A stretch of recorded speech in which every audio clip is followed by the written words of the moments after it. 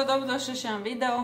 U današnjem videu ću vam reći nešto o organizaciji, odnosno u ovom slučaju se radi o reorganizaciji moje kuhinje.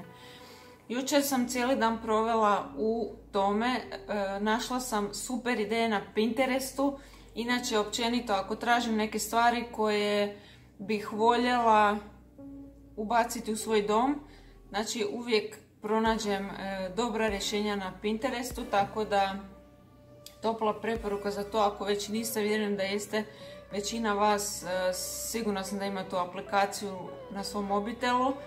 Što sam napravila? Znači, moja kuhinja vam je u obliku slova U, srednje veličine, nasuprot prozora mi je hladnjak, znači na to sam trebala isto obratiti pažnju i obratila sam pažnju i na to znači što u mojoj obitelji dobro funkcionira, što nam je važno i tako da sam po tim nekim stvarima pokušala reorganizirati svoju kuhinju. Inače, moja kuhinja, sav taj raspored je bio razbacan posvuda, znači nije, bila, e, nije bilo nekakvog reda. Tako da sam ja od savjeta koje sam pročitala na Pinterestu pronašla one koje su koje odgovaraju za moje obitelj. Naravno, vi morate te stvari podesiti i po svojoj kuhinji, znači i po tome na koji način želite da vaša kuhinja funkcionira. Još jedna odlična emisija koju, odnosno, ja mislim da je to serija, e, počela sam ju pratiti preko Netflixa, isto se radi o dvijema ženama koje vam organiziraju prostorije što dnevni boravak, kuhinju ili ormare, znači odlučite se za prostoriju koju želite da vam one to reorganiziraju i onda su po tom pitanju razvile e, rainbow organizaciju, znači po bojama. Ja se po bojama danas uopće neću se toga ni hvatat, nema šanse, nego za mene je važnije da moja kuhinja bude funkcionalna i da su mi stvari, e, da brzo dođem do stvari, da mi je to sve e, lijepo raspoređeno i znate što mi je ono e, što mi je važno? Važno mi je da ako ispraznim neku od namirnica da znam točno koju trebam ponovno kupiti. Kod mene se to dešavalo da bih ja tu namirnicu kupila barem 2-3 puta i onda bi si te zalihe gomilala nepotrebno sve živo izvadite iz elemenata, stavite ih na vidljivo mjesto, možda bolje na stol, tako da si ne zakrčite kuhinju, govori vam iz svoga iskustva. Znači postavite to sve na stol i uzmete svaku tu namirnicu, svaki predmet u ruke i vidite da li to koristite, pregledate e, rokove trajanja. Ja sam našla jučer brdo stvari koji su kojima je istekao rok e, trajanja. Kad ste to napravili, e, druga stvar je da sve te elemente iznutra i izvana dobro očistite. Jučer sam sve to dodatno još dezinficirala. E, polijepila sam si papiriće po elementima na način da sam htjela da mi recimo tanjuri i čaše budu u blizini moje suđerice Zašto? Jer vi kad iz te suđerice vadite stvari, inače sam tako imala, imala sam tri elementa od suđerice i tako da bi morala ići na lijevo, vraćati tanjure, pa onda na desno stavljati čaše, tako da iz tog razloga primijetila sam da je ovo puno lakše, puno efikasnije i moja kćerka, znači e, tanjuri su uvijek bili na višem elementu i nije ih, mogla, nije mogla uzeti nikako, niti čaše, niti tanjure, tako da sam to sve spustila niže. Jedan od savjeta, vjerujem da čaše i tanjure normalno često koristite, tako da ih e, organizirajte na način da će vam biti u blizini te suđerice. Sljedeća stvar, kažu da se može i klasificirati prema pripremi, prema e, namirnicama, kaže vam nisam išla toliko u dubinu. Ono što je meni važno recimo da sve stvari koje koristim prilikom pečenja kolača, kuhanja, da sam ih stavila na jedno mjesto, mjerne posude, mikseri, tako te stvari, e, to sam se povezala u jedan element.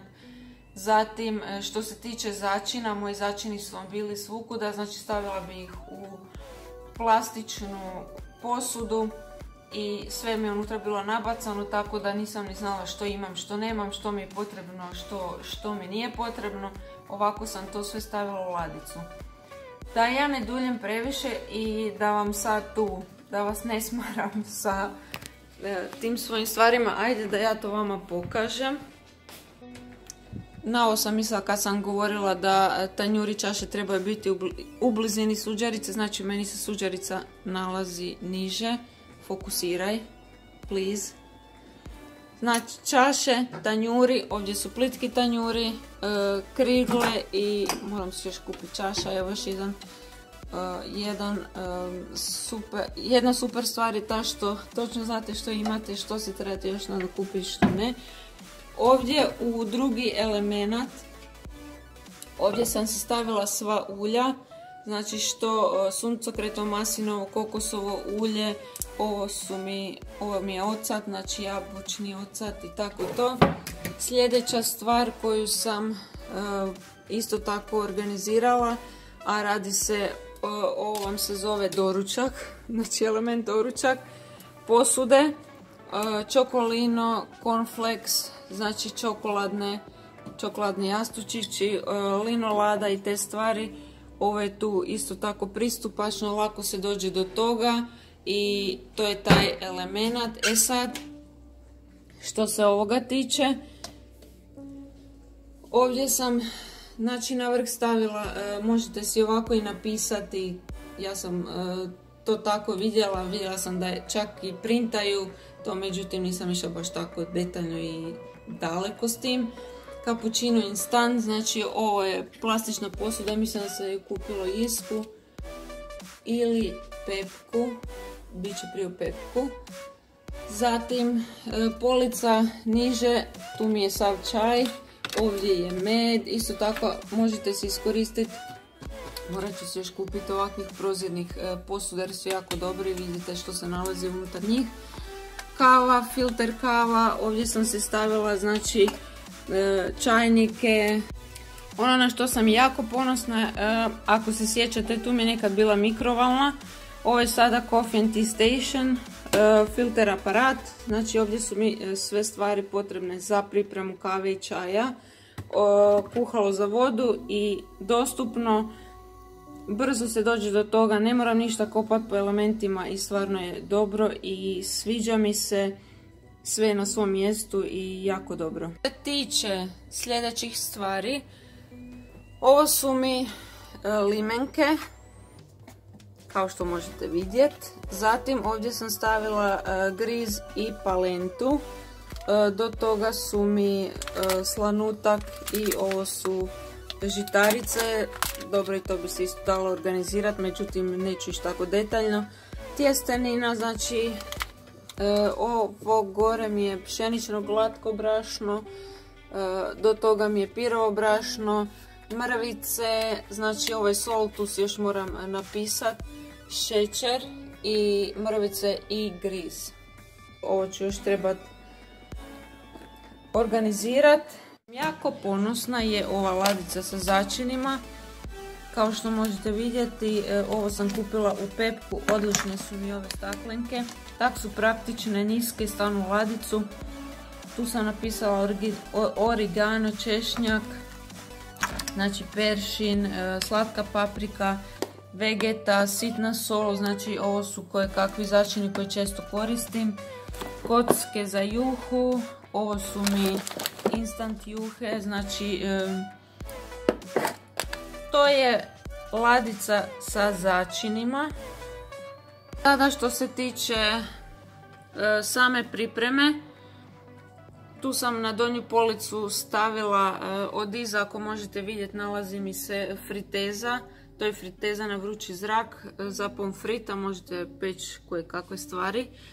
Tosteri, mikseri, e, tosteri, znači njih sam stavila na nižu policu. E, ovdje su mi tu su mi posude za kolače, ovo su mi sve stvari potrebne za namirnice za kolače, e, ovo je vaga, primijetila sam evo danas e, kad sam koristila prvi puta e, svoju kuhinju na taj način da mi je sve nekako dostupnije, lakše mi je pronaći, točno vidim namirnice koje bi trebala još kupiti, ono što uopće nemam, znači sve mi je nekako puno lakše, dostupnije i funkcionalnije, protočnije. Evo, odlična riječ za to je protočnije. Pokazala sam kako to izgleda, normalno tu još treba dosta toga za napraviti, znači nije još tome kraj, međutim važno mi je da sam ja to krenula i vjerujem da ću si ja to još doraditi, prebaciti, da, da ću stati na ovome neću, jer ja vjerujem da ću opet to okretati i prebacivati, to, to sam jednostavno ja. I ako vam se svidio ovaj video, lajkajte ga, pretplatite se na moj kanal i komentirajte. Zanima me na koji način ste vi organizirali vašu kuhinju i e, neke evo super savjete koje možete podijeliti sa svima nama. Do idućeg videa lijepo vas pozdravljam. Ćao.